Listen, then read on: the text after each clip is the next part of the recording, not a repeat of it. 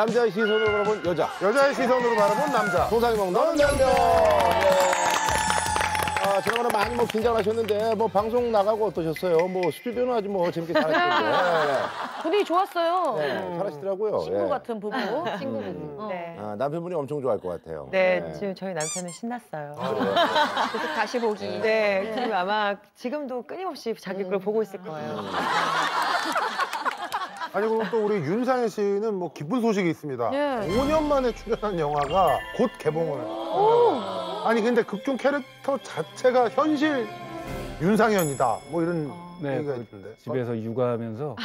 딱. 육아하면서 그냥 철없는 남편으로 아, 연기하는데 전혀 불편함이 없었겠어요? 슬랩스틱 뭐 이런 코미디 이런 걸 많이 해가지고 네.